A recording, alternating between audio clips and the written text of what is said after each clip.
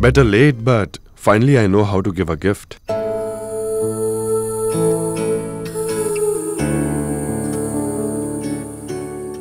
You stay out for long hours. You have got a bad habit. You're spoilt, Mr. Dikshit. I've changed, not spoiled.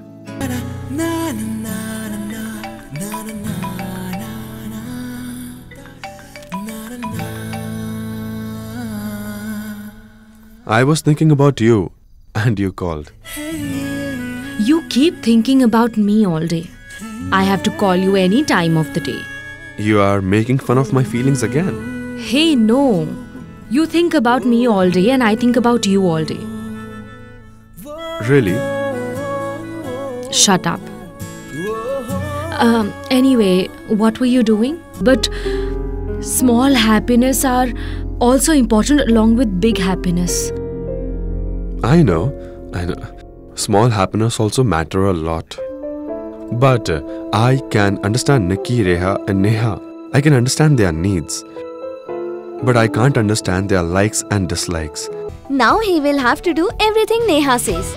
Because eventually guys have to obey girls. Because in the long run, girls are always right, right? Hello, excuse me?